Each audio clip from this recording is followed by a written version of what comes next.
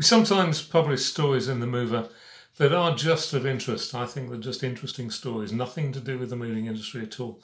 And there's one like that that's on um, it's on page 40 of the magazine.